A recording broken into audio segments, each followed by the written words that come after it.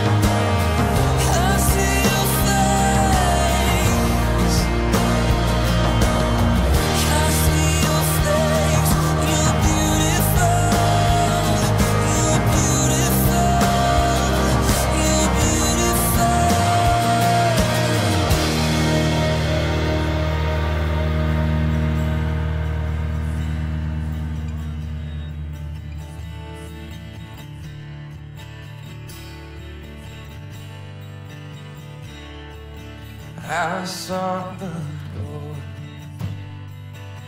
and He answered me and delivered me from every fear. And those who look on Him are radiant; they'll never be ashamed never be ashamed. This poor man cried, and the Lord heard me and saved me from my enemies. The Son of God surrounds his saints. He will deliver.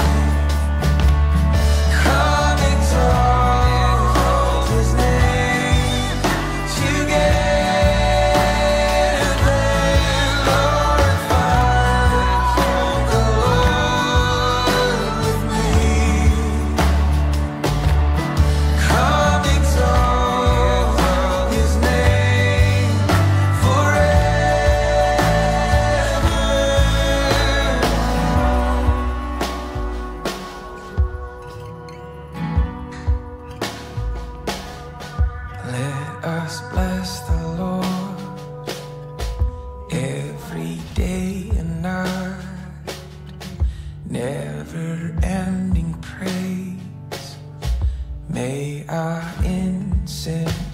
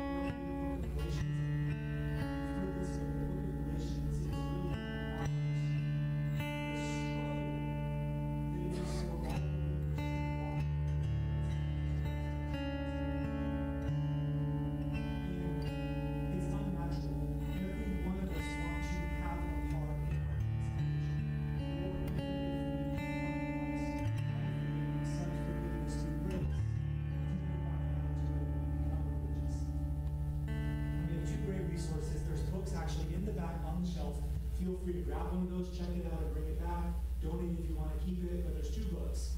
What's So Amazing About Grace by Philip Yancey, and this is a book full of stories that we can theologically understand grace, but it's explaining grace through stories, lived out examples. And then there's another book that's called 10 Steps, uh, 12 Steps rather, for Recovering Pharisee Like Me. And the idea there is that every single one of us, at some point, we have a tendency to try to be in a works-based relationship with God, with you know whatever, and and we all of us have to uh, fight that battle. So, with those things being said, uh, I want to just thank you for coming to worship with us this morning. Let's take a moment and let's just greet one another with a holy hug, and if it's your wife or family, a holy kiss.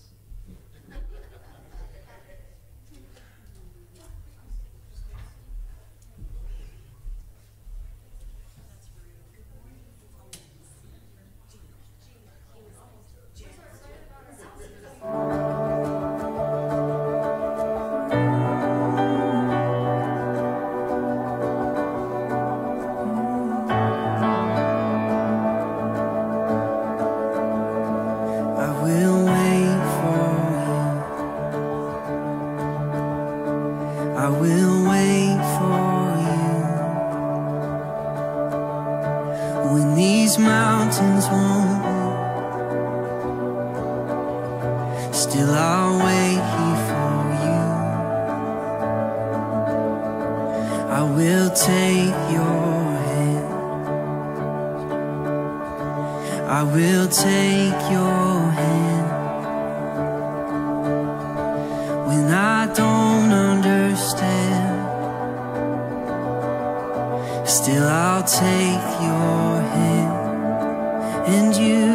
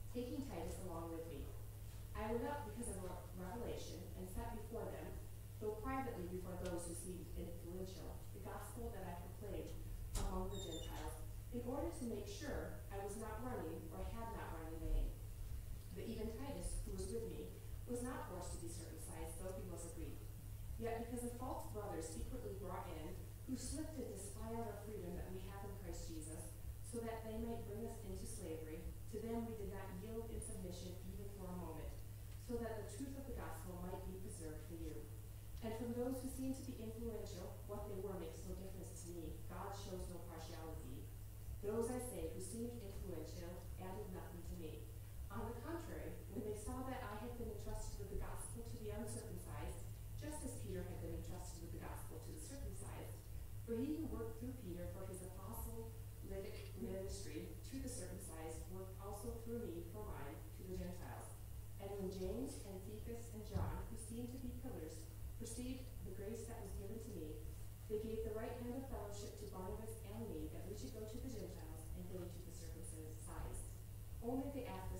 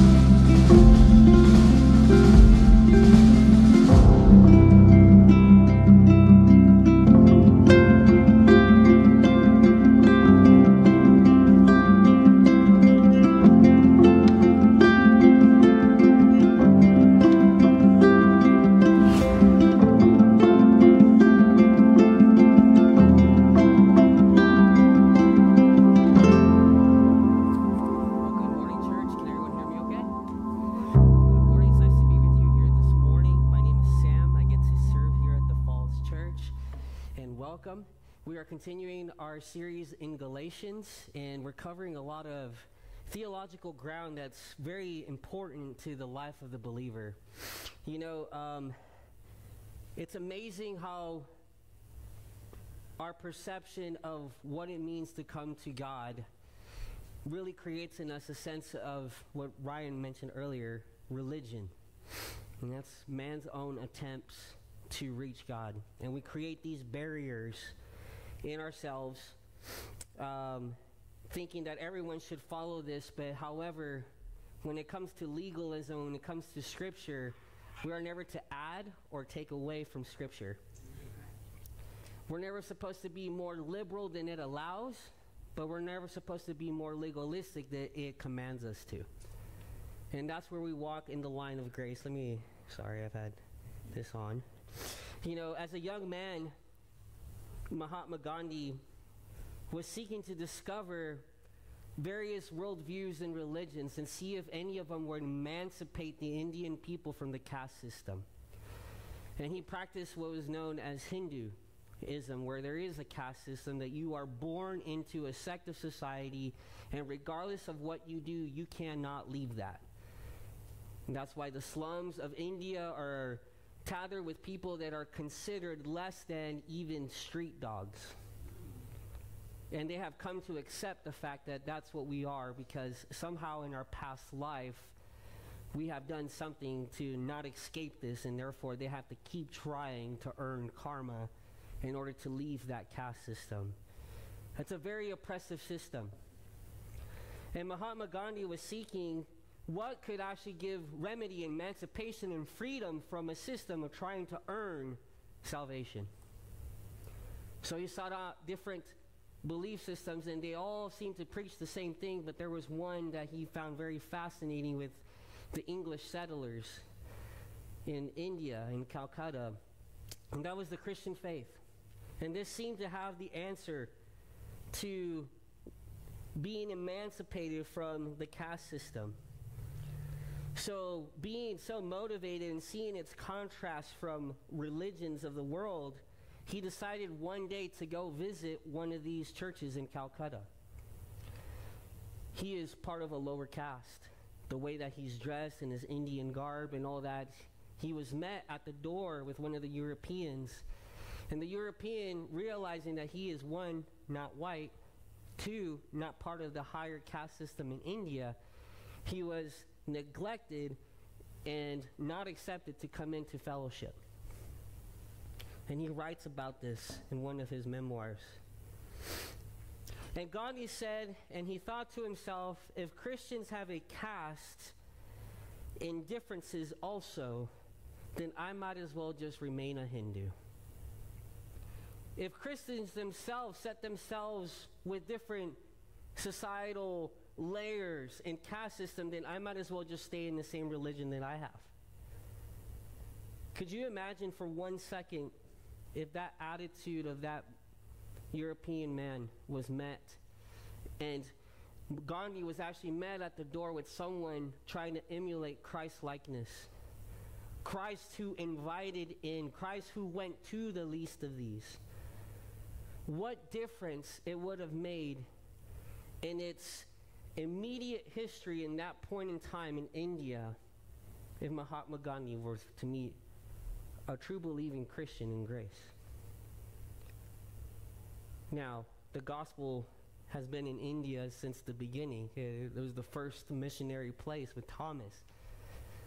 It's not a European faith, right? And that's not what we're arguing today, but what we are arguing is how quickly it became just like everything else in a sense of religion, man's own attempts with its own values and systems set in place, and it's far from what Christ preached. This blatant, ignorant, and racist behavior isn't so prevalent today. However, we would admit that it does exist still on this earth. Man has always hated his fellow man, and it's an issue of the heart. However, what legalistic attitudes do we hold as a church? Do we show the same disregard for gospel truth to our fellow members, uh, even in our own lobbies? Maybe it's uh, music styles, right? There's the worship wars, the camps that it comes from. Maybe it's just in dress. Oh, I can't believe you, you know, what if I were to be up here in a baseball cap? In our last church in Texas, we caught so much flack as a pastoral staff because we allowed someone to read scripture that was wearing a baseball cap. A, a man who faithfully served the church after working 50 hours a week and he still served the church. Or the fact that we had a sister, just like we did today, read from Scripture. That caused, it's just not the way that we've done things. Tradition, we've always done it this way. Maybe a school of thought of non essential doctrine. Legalism will always create a chasm and separate, where freedom and grace will always invite a culture that frees us to unite. Amen?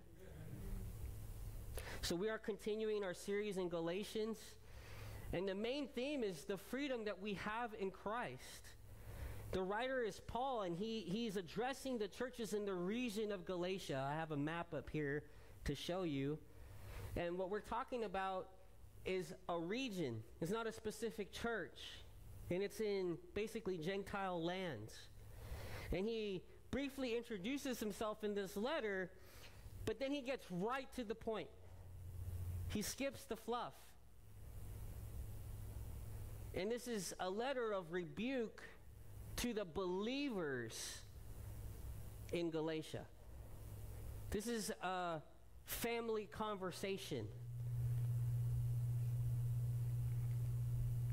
Paul is giving a classic defense on the theme of justification.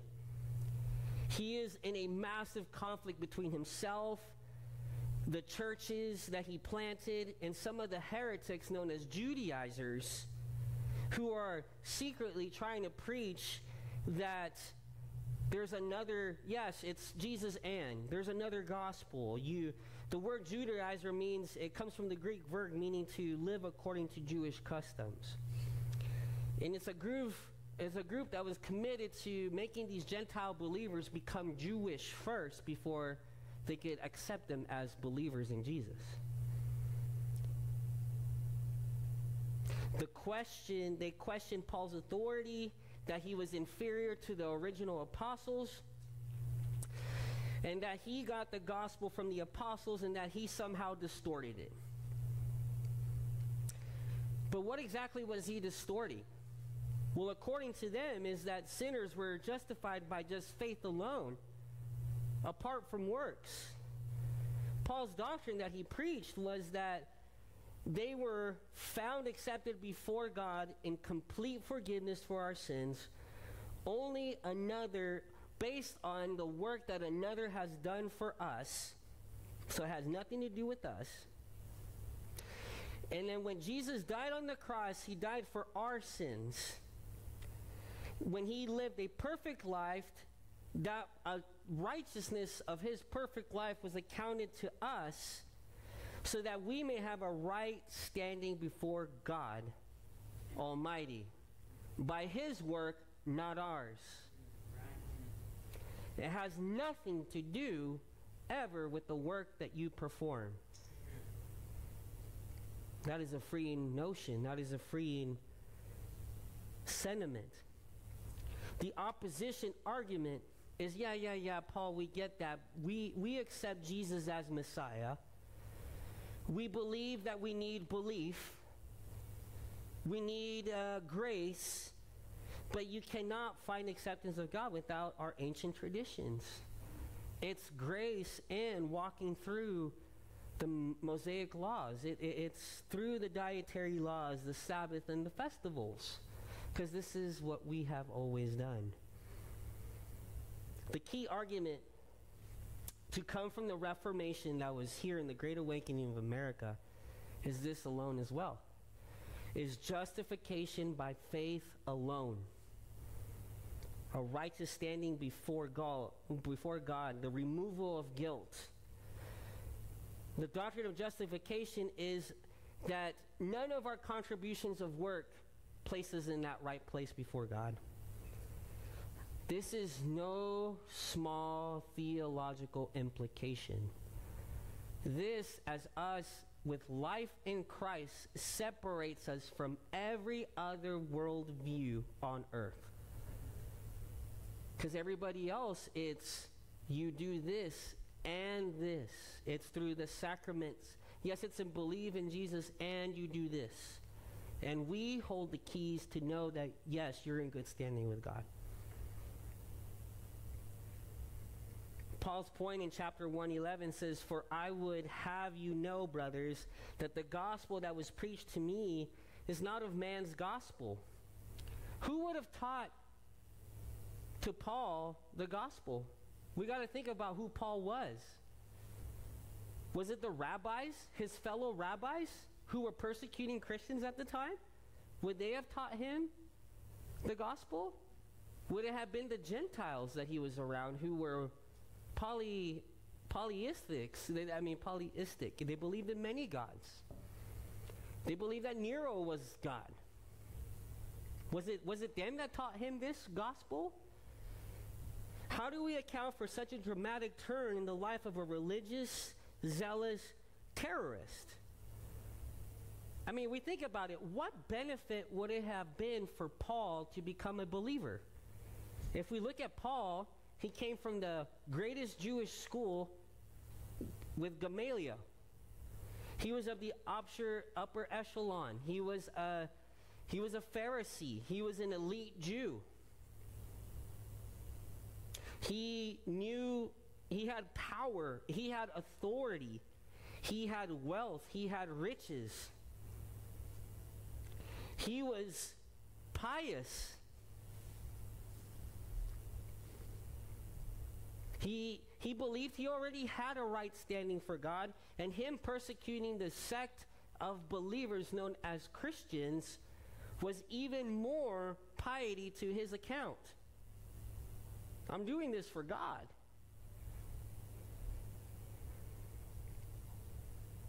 Yet, he was shipwrecked, he was beaten, he had to work a tent making job. His beard was pulled, he was punched, he was scourged. I name these things as if they're small, but none of us know what it's like to be shipwrecked. When was the last time you got punched in the face? Like, seriously punched in the face? When's the last time someone came up to you, men who have facial hair?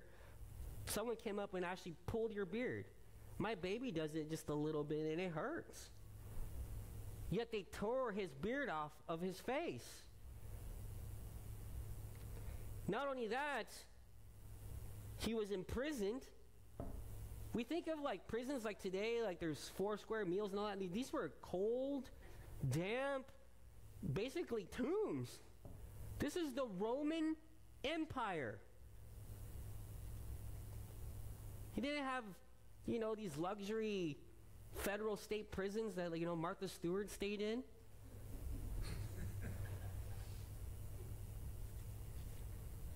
Not only that, he was ordered to be beheaded by Nero himself. Oh yeah, he did all this for for power and for riches, for control. What? That doesn't sound like it. It sounds ludicrous. It sounds asinine. So we as believers have to really think about the implications of what Paul committed his life to. And that is the fact that we are justified before a holy God, not of any of our works, but by faith alone. In his own words, but whatever gain I've had, I counted all, in some translations it says rubbish, in some translations it says loss. I really like the, the original translation that was come out of this, but it's like, I count it all as excrement. We can, we can insert the word that he put in there. I count it all as dung. It's all for the sake of Christ. All of that junk is just, that's all it is. It means nothing. It's worthless. Indeed, I count everything as lost because of the surpassing worth of knowing Christ Jesus, my Lord. Paul believed that the gospel was to be demonstrated in our life. This is going to be our first point. Paul believed that the gospel is one that needs to be defended against all false gospels infiltrating the church.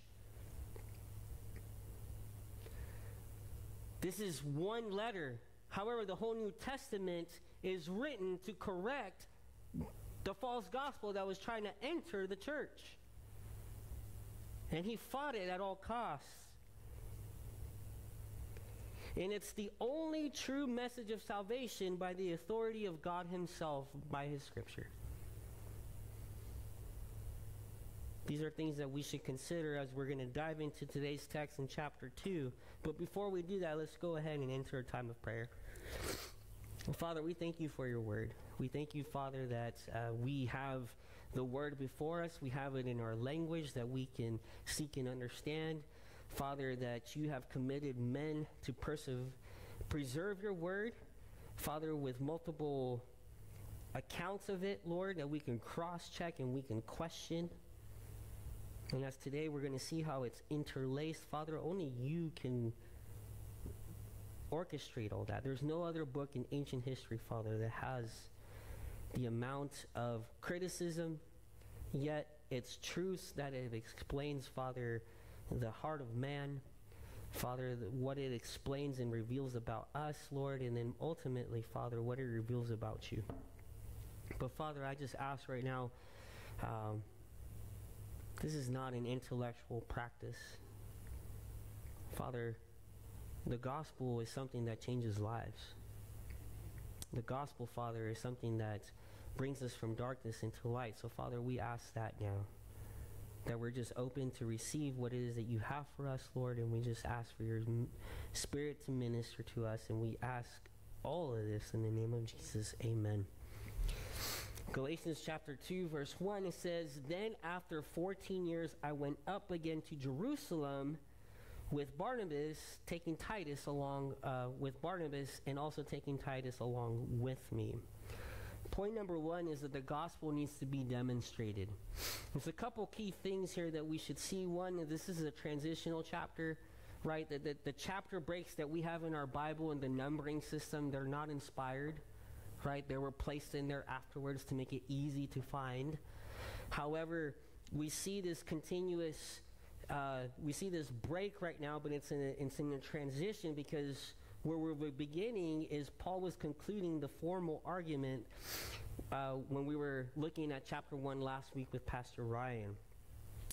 And now he is standing for the main argument. And there was a lot that was being said and a lot that was being accused towards Paul. And the four main things is this. There was four key accusations that Paul will address in this scripture. One, Paul is he's just plainly in error on justification. He has it wrong. The message doesn't really fit our narrative and our traditions. So we need to discredit the message by discrediting the authority of the messenger. And we attacked him and we call all of his teachings corrupt. He is not in accord with the other apostles. What he is teaching is of no authority. Um, you know, he's just trying to cause confusion and division, and he inserted false claims and contradictions. And then Paul's view of justification is actually a danger for believers coming to Messiah. So we need to look out for them. You know, with, with no authority, they kind of appointed themselves as the gatekeepers now of true gospel, of the true gospel without really ever being questioned. If anything, we see them working in the shadows, never really in the light. And he is just, he's just trying to be a people pleaser, man. He's just trying to be this, you know, popular preacher amongst all the other apostles, and he's just trying to win people unto himself so he has his own school of thought. He's just trying to be a pleaser. He's trying to win people with this easy message of grace and justification.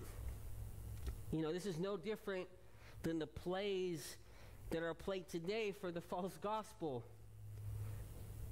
Right? We, we, we, uh, we attack the messenger, we, we infuse false accusations, we, we talk about said contradictions but never really point them out. We just say there's a bunch of them.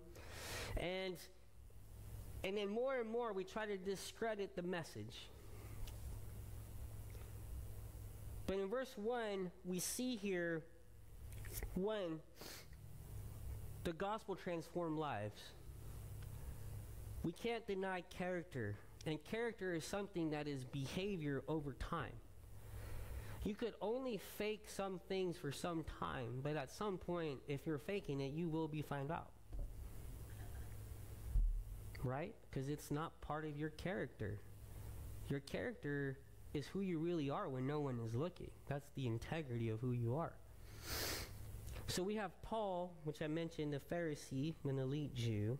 He was also named Saul, so he would use Paul when he would minister to the Romans and the Gentiles, because that was his Roman name.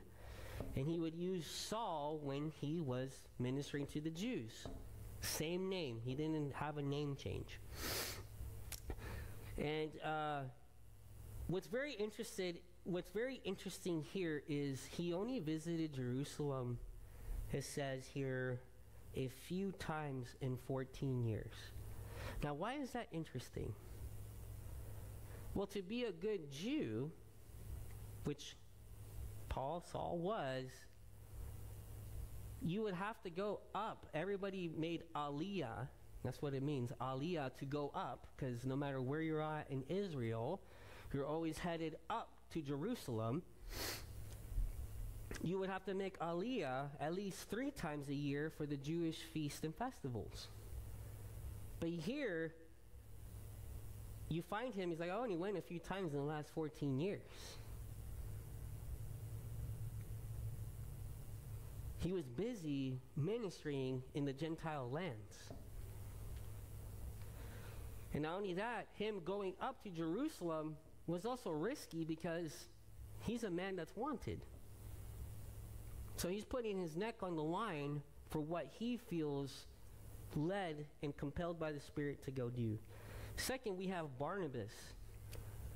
Barna means son of, and then Bas means of encouragement, or really conciliation. He's a Jew. Barnabas, Barnabas was a Levite. Levite was an important tribe in the Jewish community. He was part of the priesthood. Yet, this priest, Barnabas, is preached the gospel, and we find this in Acts 11 24, and it records him being identified as a good and generous man. So when he is preached the gospel, he comes to the Lord in faith and he doubles down. I have a friend who's a Messianic Jew, and he's just like, you see the beautiful transformation when Jewish become completely Jewish and embrace their Messiah in Jesus. It's the fulfillment of their Judaism. And he gives everything up. It says that he was generous. He sold his land, he sold everything, and he laid it at the disciples' feet. And he joined them on mission to preach the gospel of Jesus Christ. Once again, a guy in power, a guy with education, a guy with status and notoriety, a guy with everything to lose gives it all up for the sake of the gospel to gain nothing but Jesus himself. In a time where all this mattered. What was beautiful about him is he was known as an encourager. Friends, I don't know if you guys have ever really set out to be missional in your life, but it is very important that you have a friend like this.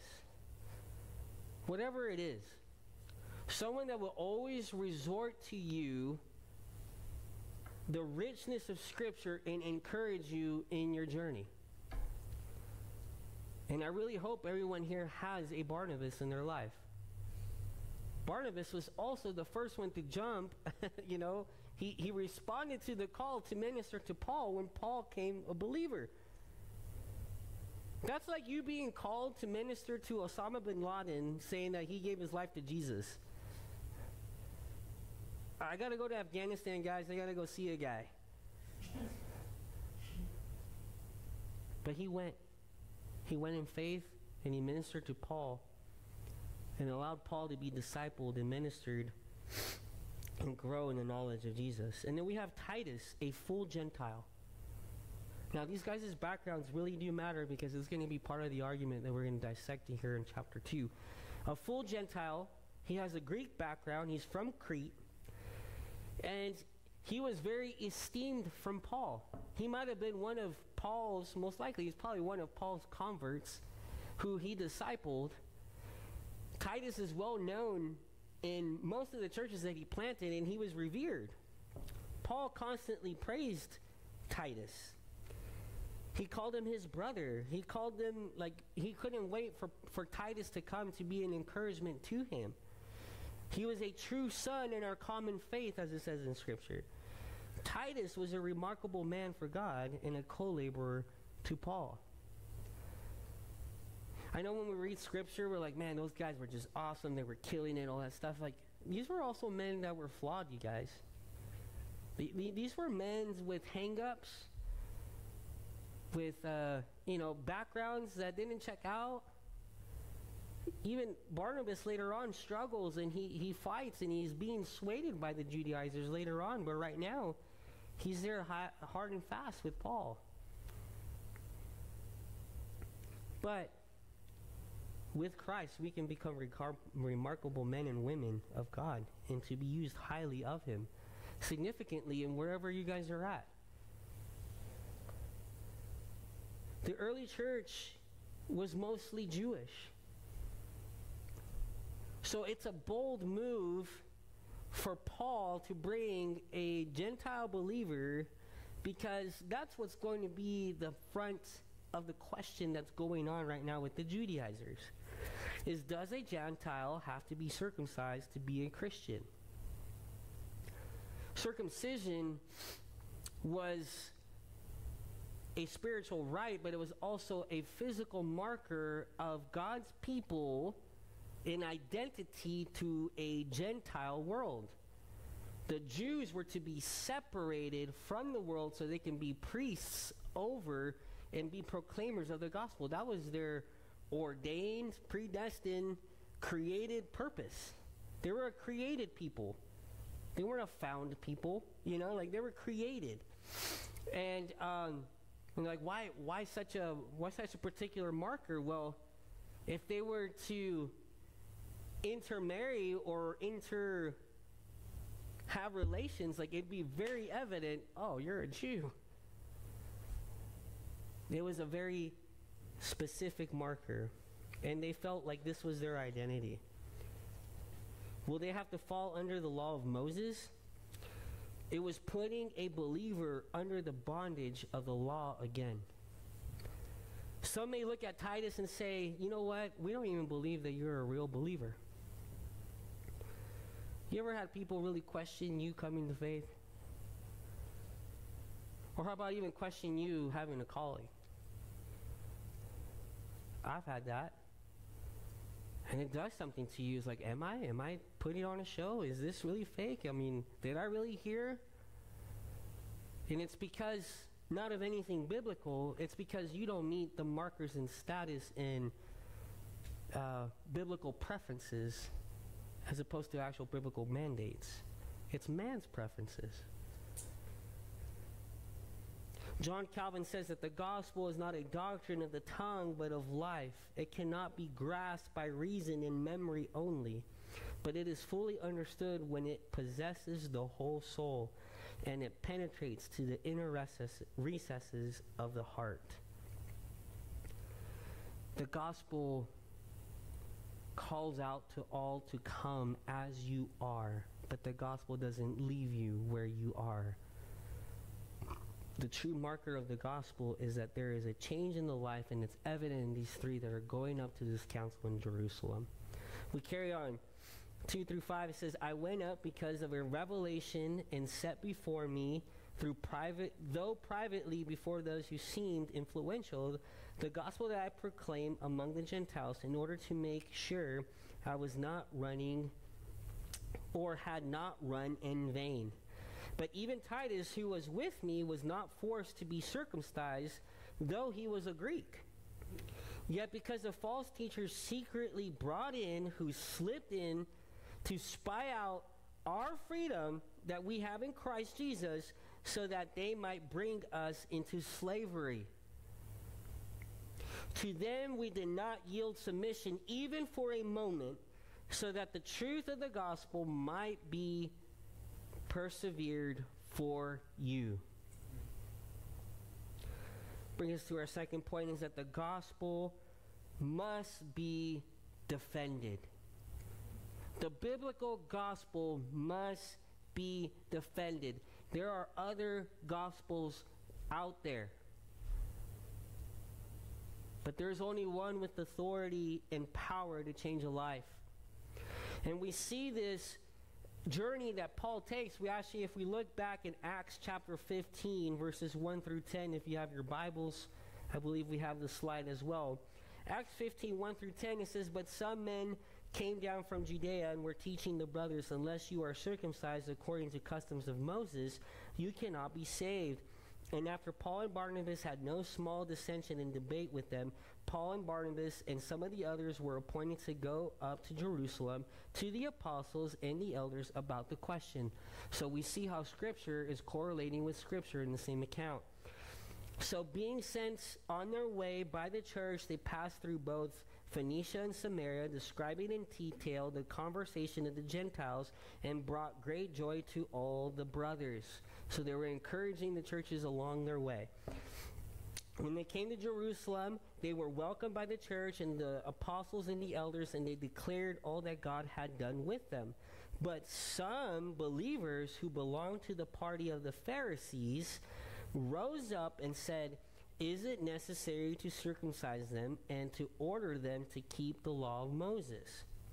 Kind of like a gotcha question. The apostles and the elders were gathered together to consider this matter. After there had been much debate, Peter stood up and said to them, Brothers, you know that in the early days God made a choice among you, that by mouth the Gentiles should hear the word of the gospel and believe. And God, who knows the heart, bore witness to them by giving them the Holy Spirit, just as he did to you and to us. And he made no distinction between us and them. There is no they and us. Having cleansed their hearts by faith, by works, by sacraments, by priestly things? No, by faith. And he made no distinction between us and them, having cleansed them hearts by faith. Now, therefore, why are you putting God to the test by placing a yoke on the neck of disciples that neither our fathers nor we were able to even bear. You weren't even able to keep the traditions of man that they were putting on us. That's why we were looking for Messiah. It was getting ridiculous. There was only 10 commandments and somehow through the Mishnah and all these extra biblical writings through the rabbis and there were commentaries on rabbis commentaries and then all of a sudden it just got diluted once again, adding layer upon layer of legalism, separating them from the true heart of God is to come by faith, and grace has been extended to you. The cause of his visit was not by a human command or summons. He wasn't going there to even prove a point. But he was going there because he had a divine prompting to address the others because he personally wanted to deliver his doctrine of what he was preaching to the apostles. He's like, there's some amongst you that are saying I'm preaching a different gospel. Let me share you the gospel that I am preaching. His concern was for legalism to creep in. And I find that so fascinating. A Pharisee, a legalist of legalists, a, a lawyer of the Sanhedrin is now fighting tooth and nail against legalism in the church. What a better tool of God to use.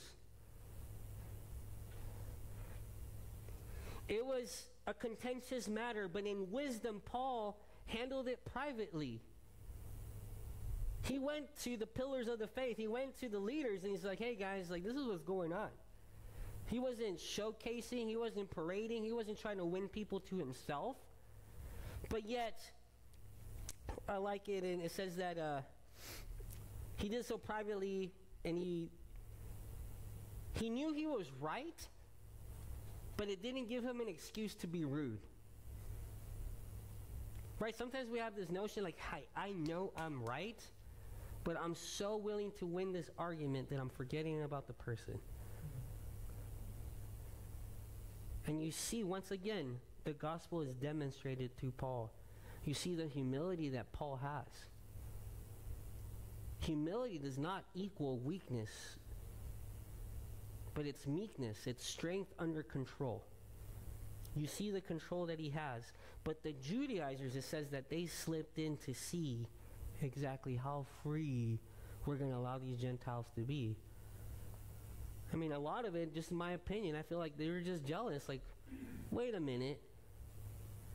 You know, there's that meme that's going around on Instagram and it shows the guy going, the guy that, the last guy that gets circumcised, and then all of a sudden Paul the next day says, hey guys, we don't have to have circumcision anymore. You know, I was like, dang, that sucks. Information I could have known yesterday.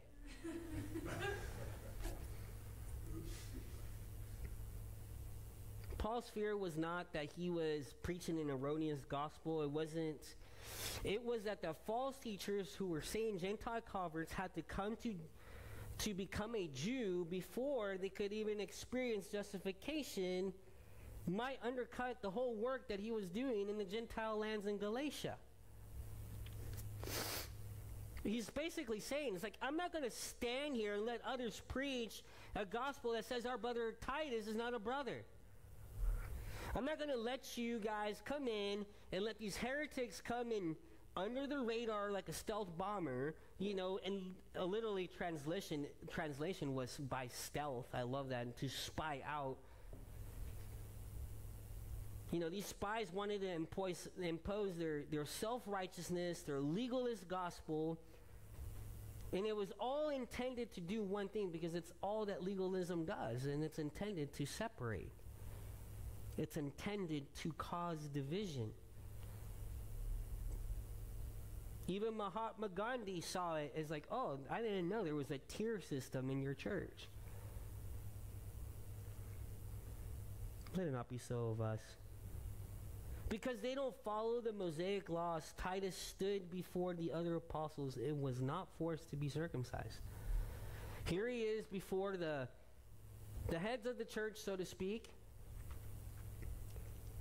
And there was no issue with them. They, they didn't even discuss him, oh, yeah, you should become circumcised. And he said, I will fight for the truth of the gospel and not allow anyone to put us in the chains of religion again. This is Paul saying this. What do you mean, our freedom, Paul? What are you talking about? Paul, you're, you're a Jew. I mean, you're good, man. We're not talking about you. We're talking about the other guys. You're circumcised. You're good. You've met the requirements. Like, why are you causing a ruffle here? And he's like very blatant because I love. Um, I'm not a, you know, Greek scholar at all, but I do Greek. I do read commentaries with Greek scholars, and they mention, you know, his writing in this piece right here is like the worst grammar that he has in a lot of his letters. Like you could almost, they say you could almost feel the frustration. He's just writing this just, oh, like hard pen, right? Like just like he is going at them. He's just like, it's our freedom. It's our problem. The message of the gospel cannot and will not be compromised for anyone who believes. I won't even give them the premise or even a thought or even a moment to instill this in the church. I'm not even going to give them an ear. Paul stood his ground for the sake of the gospel. He stood firm. He, like, I am not moving from this. However, interesting in love, another disciple of Paul was personally circumcised by Paul. Wait, what? We have Timothy. We see this account in Acts 16 1 through 3. It says, Paul came also to Derbe and Lystra, and a disciple was there named Timothy, and the son of a Jewish woman who was a believer, but his father was a Greek. He was well spoken of by the brothers at Lystra and Iconium. Paul wanted Timothy to accompany him, and he took him and circumcised him because of the Jews who were in those places, for they all knew that his father was a Greek. So, is there a contradiction here? Paul, like, dude, your homie Timothy over here, you had him circumcised. He was Greek, he was half Greek. He was born of Jewish descent. So, the Jews, the way that you actually get your lineage is through the mother. However, because he had a Roman, he had a, a Gentile father, father would not allow him to be identified and marked as part of the Jewish people who were probably captors of his people. So he never got to fulfill his Jewish rites before the temple because of his Gentile father. Titus was a pure Greek. Timothy was born of Greek father and Jewish mother. Timothy had been taught the Old Testament scriptures. He had a Jewish mother. But he was restricted from all that. For Titus, the pressure was to perform a law to become accepted by the Jews as a believer. In Acts 16:2 it says Timothy was well spoken of by all the brethren at Lystra and Iconium. No Christians were pushing for Timothy's circumcision, rather it was because of the Jews that were there in those places. Timothy's circumcision was not motivated by Christians or pressure to do it. However, it was a missionary strategy to go out. In other words, he didn't want Timothy to be a stumbling block for the Jews that were about to minister to in that region. He had the freedom to do things, but however, his love for his fellow man trumped his freedom and his liberty. For the sake of the gospel, we see it in both cases. One is for the sake of the gospel to Gentiles, the other one's for the sake of the gospel for the Jews. The Jews didn't ask for Titus to be circumcised, they demanded it. They didn't ask, they demanded it. They said, You have to do this in order to be accepted by God. Timothy was asked for the love of his brothers that there will be ministered to. Would you perform this so it would not be a hindrance to your brothers to receive the words coming to you? He didn't want the message of the, bo- the gospel to say this. In order for you to come to Jesus, you have to come through Moses first. You have direct access to God through Christ. No more do we need to go through any other systems of man. That's what the work of Christ did. In 1 Corinthians 9:20, we see this lived out here. It says, "To the Jews I became a Jew in order to win Jews. To those under the law I became as one under the law, though not being myself under the law, that I might win those under the law." During uh, school of ministry, um, I call it my first seminary. um, I was um, I was part of a band, uh, a worship team that uh, led worship for a young adult study, and we had a friend that was one of our leaders, and he had a relationship with Azusa Pacific University. It's a big university in California, and every year they would have a missions conference in Mexico. Um, our friend got really ill, and so he called me and my best friend Jade, and he's like, "Hey guys, you think you guys can get some guys together and basically lead worship for this conference that's happening in Mexico in two days?" We're, you know, yeah, uh, it, it pays lodging, free tacos for a, for a week, dude. I'm down, and. Uh, so we we we we I remember I we rushed. We, we we secured a recording. We secured a rehearsal studio, and we rehearsed basically for a few hours, twelve songs as our repertoire, and then the next we packed, and then the next day we're on our way down to Mexico. Okay, so we go there and we find out little bits at a time about what we're even doing, you know, because it, it wasn't our thing. Our friend just could not go through with it. And so we met the director, uh, and he's just like, "Yeah, I need you to meet the camp director when you get down there." And he's and I was just like, "Can you tell us about like what what we're going to be doing exactly?" And he's like, "Well, it's an interdenominational, so you got to think." There's about five to six hundred youth, so I think it was junior was the youngest, and then first year of college was the oldest. Uh, five to six hundred youth from around the country from every denomination Baptist, Wesleyan, Methodist, Presbyterian, non denominational, the whole shebang, right? Um, the, the key was they all had to attend to the essentials of the, the gospel. That was like the only requirement. So we went there. It's a full week event. We didn't really know attire guidelines. So if you're from, if you understand Southern California at all, it's the desert that we're going to right at the tail end of spring.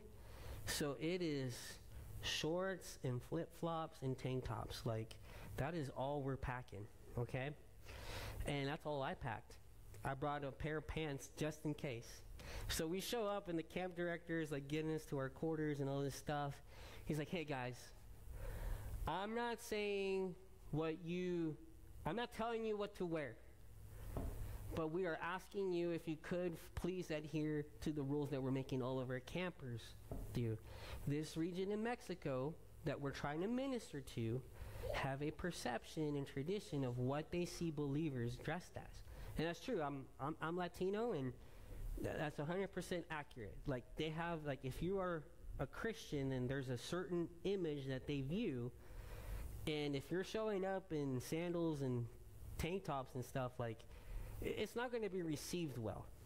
Not only that, we had other denominations there that were a little bit more on the high modesty side. So all they asked was, would you please just at least wear pants for the rest? Of, I only had one pair. So I did it. I wore pants for a whole week, the same pair, you know, and they gave me a couple camp shirts and stuff. a- And, um, you know, we had a blast. And um, we got the ability to go into different areas of the city and all that.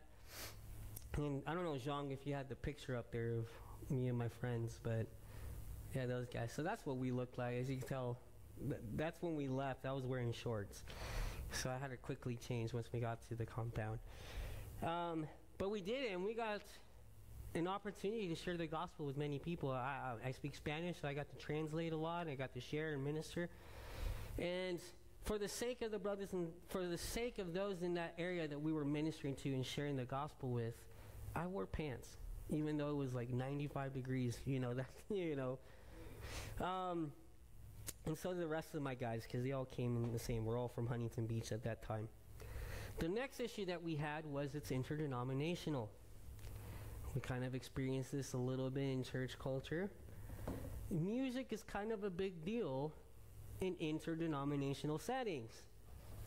We have some that are super formal, high liturgy, right? We had Lutherans there, we had Presbyterians, and, you know, they like music a certain way.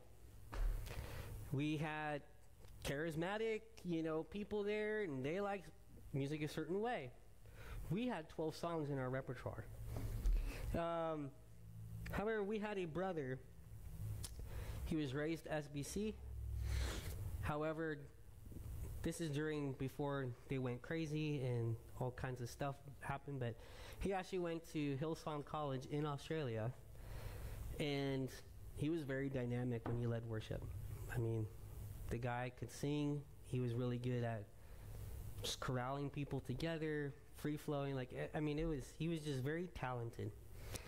So we noticed that every night the kids are super into it. I mean, they are into it. Like for a lot of them, it's the first time they even seen instruments on stage, right? And for others, it's just typical and normal. However, there was a section in the back that just stood there and stared. And we can, I mean, they just plain as day, you can just see them. There's like a group of 30 of them. And they just stood there like this the whole time. And we're like, like, can they hear us? Like, why are they saying, you know, like whatever. And so, um, anyways, we we didn't want to be those typical musicians that just hide out and don't interact with anybody. We made a. It was literally a big campsite. Think of like this whole area just full of tents and stuff. And then we went around and we met different leaders and we met different kids from different and and it was just cool to fellowship with them. And we bumped into this group, and I was like, oh man, this is going to be interesting, right? Because I feel like they just don't like us. And one of the leaders came up and he gave us big old hugs. And he's just like, hey guys, just want to let you know, you guys are doing an amazing job. The kids really love it. You know, this is really great for the camp. We haven't had a lively group like this in a while. We've been coming here for four years now, whatever. And we're like, in our minds, we're like, really? Like, you guys are just this the whole time. And then he goes, "Yeah, man, you know, sorry, you know, we're we're just Presbyterian and you know the Frozen Chosen, so we don't really express ourselves like that. But we're there with you." He's like, "We're there with you," and we just laughed and we hung out the whole night with them. I mean, we, they had bonfire, they had like a special barbecue, whatever. We were laughing, and then we got back to the room, and then we all felt compelled. It's like, "Hey guys." What do we have that we can use to kind of strip down and kind of interweave more of the traditional stuff for them? Because we don't want them to feel excluded. And uh, our leader did that, and it was cool. Um, he interwove some traditional hymns. We kind of settled it back down, but we interwove it with everything else, right? And then um, the last night, we just went all out because it was like the last hurrah. This is a youth camp, whatever. And uh, what was cool is, Jean, we do this video. They were actually here in the middle with the leaders. And they were just singing, having a good time. And to us, like, that to me was just such a beautiful thing to experience. Was believers laying down their liberty for the sake of the love of their brother. And guess what? Their brother was reciprocating it back to us. And we all joyously worshiped our Lord together. And there was harmony and unity between all of us. The gospel unites us because it's not about us, it's about glory to God. It's not about music style, it's about glory to God.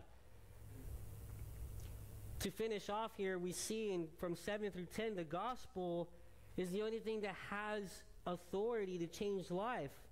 It says, on the contrary, when they saw that I had been entrusted with the gospel to the uncircumcised, just as Peter had been entrusted with the gospel to the circumcised, for he who worked through Peter for his apostolic ministry to the circumcised worked also through me for mine to the Gentiles.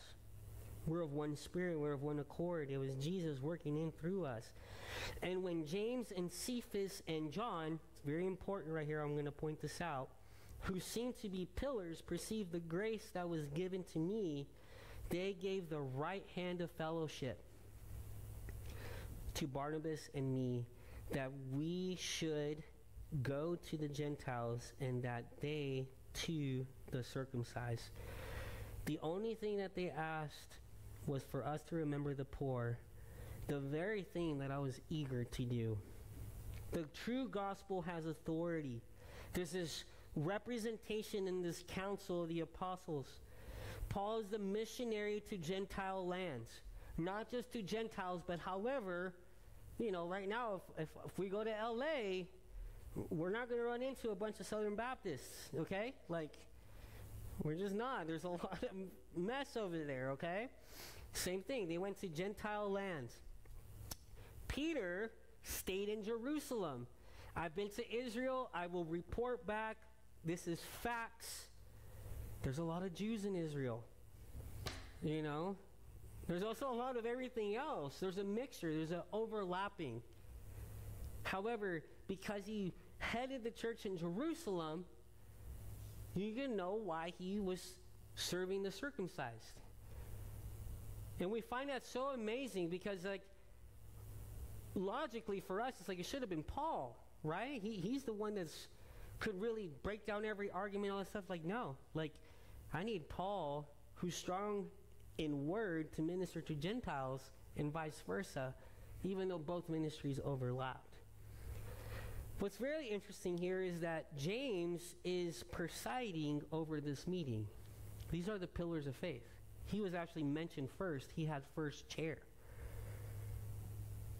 Wait, I thought Peter was the Pope who made all the decisions for the church. That's another discussion for another time, but I just wanted to point that out. It's very interesting. James is the one that's presiding over this. And this is a great illustration of diversity within, within the unity of Christ's body. Different Christians can minister to different segments in, of humanity and people with different backgrounds. And that's okay. Ryan will minister to people that I probably just don't gel with, and vice versa. And same thing with you guys. God has placed you specifically where you're at. You know, you find yourself, you're like, man, I'm around a lot of new age people, and like, what the heck, you know, well, maybe God has given you a ministry to minister to those people because there's something inside of you that has the ability and the capability to minister to them in love and in truth. Different methods, however, there is just one message. There is one message. Unity does not equal uniformity, and that's where the world religions go wrong. That's where we even see the religion and Christianity go wrong. They think that you're not unified because there's no head and there's this patriarchal, like there's this whole system. It's like, no, we are unified in the essentials of the faith. And in everything else, we're giving liberty and we're giving charity to our brothers and sisters, including you. Unity does not mean uniformity. We don't have to all look the same. I was in Haiti, for instance, I just had a video popped up, and I was talking, and it, I, I noticed that they're singing worship, and all they had, they didn't have a guitar, they didn't have a piano, they had nothing. They had, they had a djembe drum. That is it. That's like me sitting up here, you guys, and leading y'all in worship with just my djembe. That wouldn't go so well here, you know. But uh, in Haiti, man, it was the jam. And we took that djembe everywhere. We were in the back of the truck singing worship. We were on rooftops singing worship, and all you heard was a drum playing. It was it was pretty rad, and everyone's voice was lifted and high.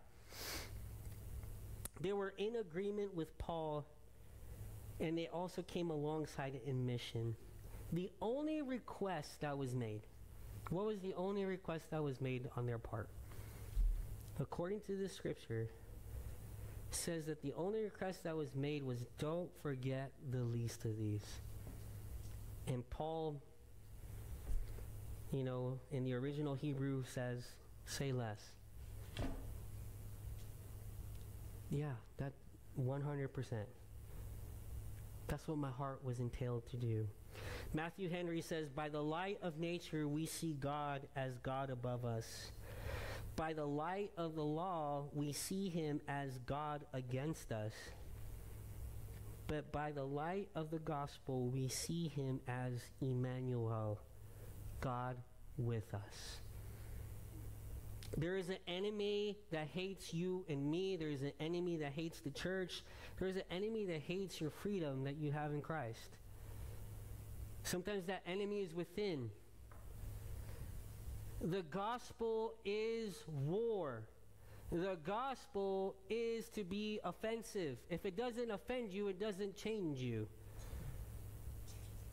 There's a band I like to listen to. The name is Gable Price and Friends, and they have a line in one of their songs, and it's like, "Offend my mind so I can know you more." And I always give that challenge. This is to believers. You want to wrestle with God? Go ahead. You'll be that much closer to Him.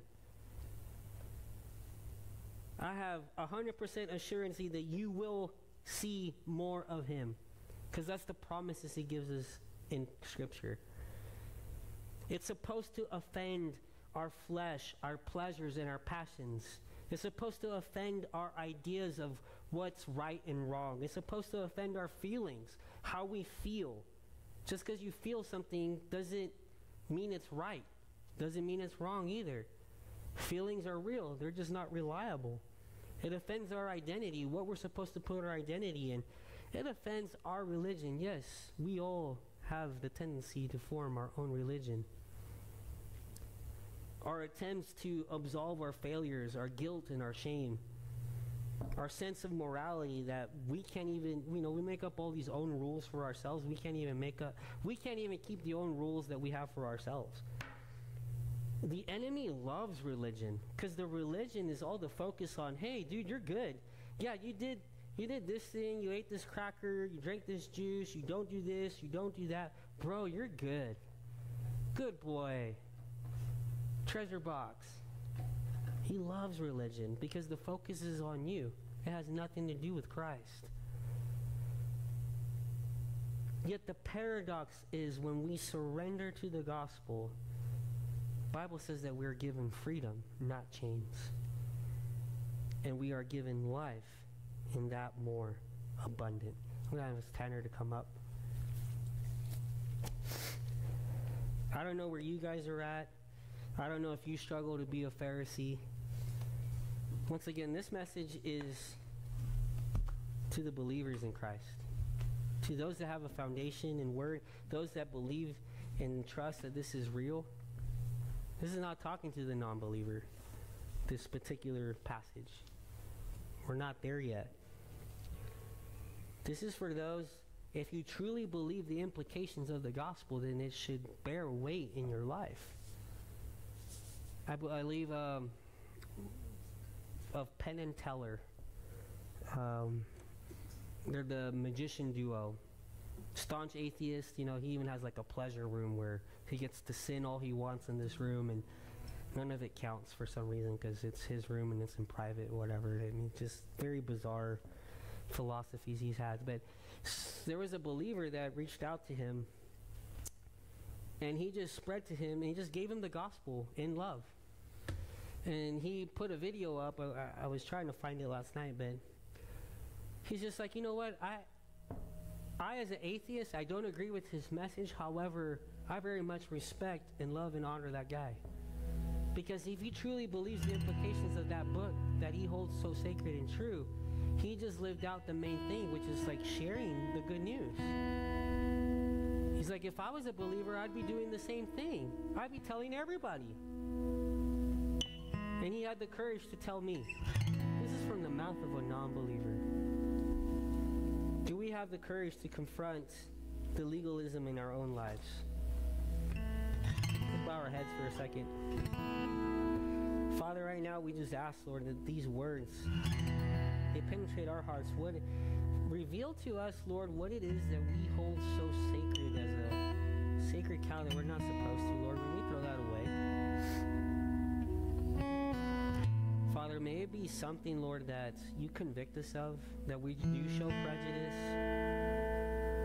Father, we show uh, division between brother and sister over things that are just not important or essential to the faith. Father, may you harness, Lord, in us and cultivate in this church, Lord, love for one another. Lord, this message is for the church abroad, yes, Father, but today we are here Idaho So, Father, we, we, we desperately desire revival, but Lord, we ask that you start it here with us today. May it start with me.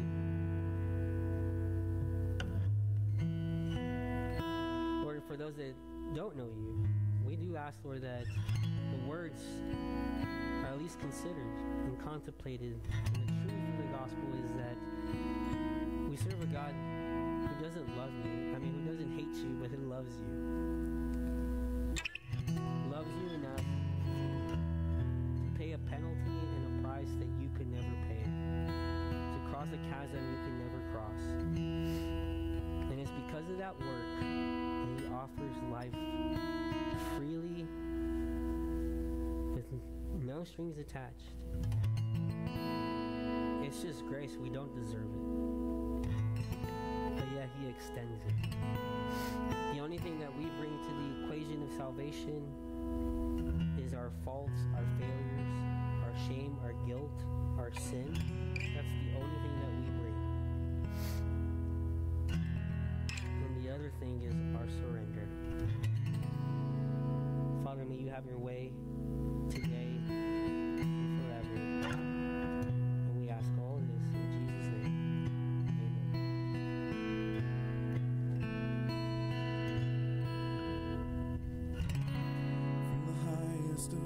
to the depths of the sea.